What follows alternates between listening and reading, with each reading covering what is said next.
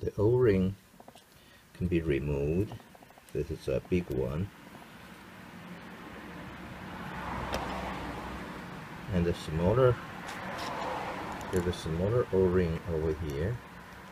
So we can try to remove that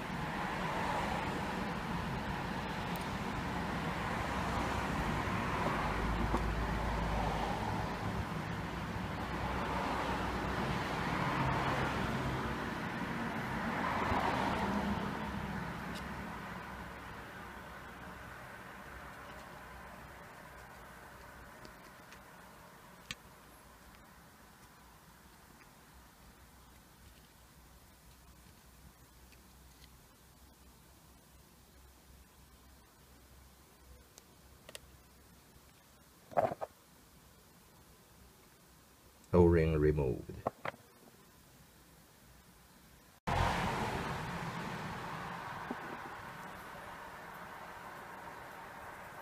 To install the O-ring, just uh, put it from the one end, another step.